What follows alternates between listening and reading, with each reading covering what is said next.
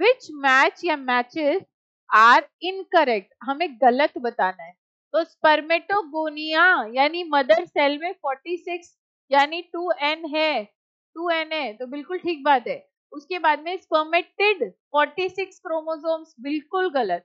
Spermatid जो है, ये हैप्लॉइड होता है। हैप्लॉइड यानी इसमें 23 होंगे, ना कि 46 स्पर्म जो है, ये एन होगा और इसमें 23 होंगे। तो ये बात बिल्कुल ठीक हो गई। फिर सेकेंडरी स्पर्मेटोसाइट 23 क्रोमोसोम्स बिल्कुल ठीक बात है। Secondary spermatocyte form after the end of meiosis first तो मियोसिस वन खत्म हुआ था, देखिए।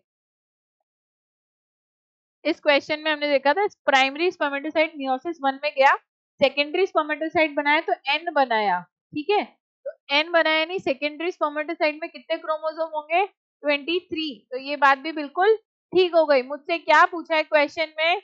इनकरेक्ट पूछा है। तो only option B is incorrect answer will be option number A only B ठीक है? तो answer for question number 11 is option number A